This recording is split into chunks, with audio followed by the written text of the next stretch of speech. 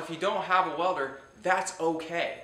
I know you might be fretting that you're going to have to go out and spend five, six, seven hundred dollars on a welder to be able to use this course, but the fact is you don't have to do that because there are great places anywhere where you live where you can rent welders. You can rent them by the hour, by the day, even by the week and month.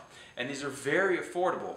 Now, of course, in the long run, you're going to want to buy your own machine, especially if this is something you're really interested in and you really have a passion for. But until you know that's the case, you might as well just spend your money and invest on the tools that you're going to need, the hand tools and things like that that are going to progress you, and rent your welder until you can make enough to be able to get your own.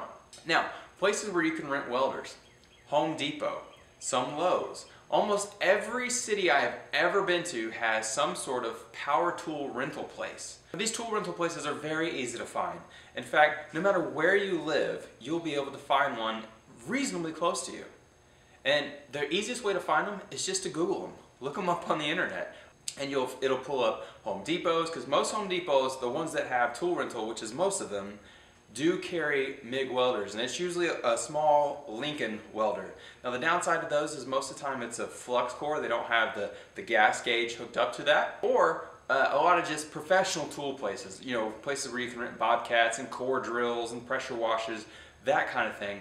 They will definitely have MIG units small enough for you to play with and they'll actually have all the gas hookups and everything. And most of these places actually give you a helmet as well. Now I know the Home Depot places, they don't give you an auto darkening helmet, which we're going to get into in just a second.